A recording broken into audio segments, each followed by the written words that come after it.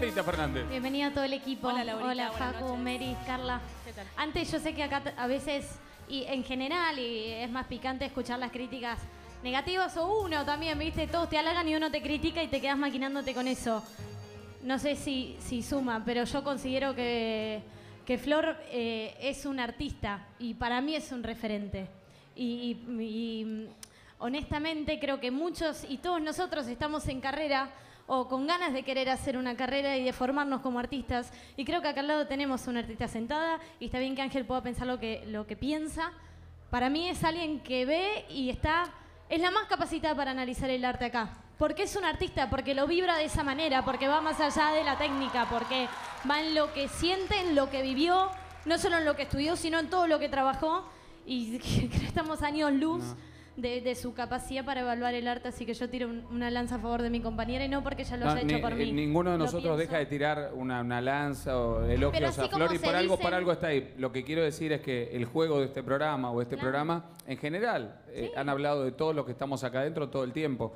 Es un juego de que a uno se le permite que pueda opinar del otro, justamente. Después hay cosas que pueden gustar, pueden no gustar, eso está en todo su derecho. Totalmente. Pero si hay algo que ha tenido el programa en estos 14 años, 13 años que tiene, es justamente eso. Eh, y acá es así, en este momento. Entonces digo, nada, eso es lo que digo, más allá de que la respeto y la adoro, además personalmente a Flor, eh, y no, no tengo duda de, de su capacidad, ¿entendés? Por eso, no, yo- nadie yo- discute la capacidad de nadie, los que están ahí por algo están. Ahora, cualquiera puede Yo quiero- decirlo, que... Perdón, Flor. Que, qui- que quiero decir que nosotros también con Laura somos nuevas en, en- en un jurado que durante años tuvo a jurados que, que se, que se apropiaron de esta silla. El, el mismo Ángel y el mismo Polino, digamos, eh, saben, saben estar acá. Y esto es un aprendizaje, eh, eh, Mm. digamos, es nuevo para nosotras ser jurado y es un aprendizaje estar sentada en esta silla. Y es poco el tiempo que llevamos sentadas. Y obviamente la comparación siempre es con gente que hace años que estaba acá, como puede ser Moria o la misma Pampita. Entonces es difícil para nosotros competir con dos meses y medio porque No, es lógico que tengamos que encontrar nuestro lugar.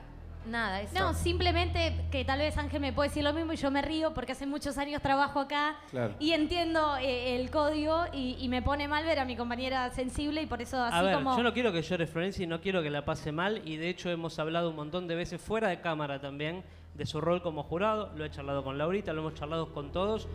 A mí me parece que ponerte a llorar y ponerte de esta manera, aunque creo que es genuino, me deja mal parado a mí al pedo, Florencia. No, no, al pedo, porque vos no- sabés que me porté muy bien con vos. No, no lo estoy. A, a ver, quiero que sepas que yo estoy en una situación personal complicada. Sí, que también Eh, hice referencia, por eso no quiero mezclar las cosas. Y, y, Y, y todo el mundo te apoya, me parece. En ese Ya sé, y cuando, Sí, cuando total. daño a alguien que no la está pasando bien, eh, me duele, pero no, no.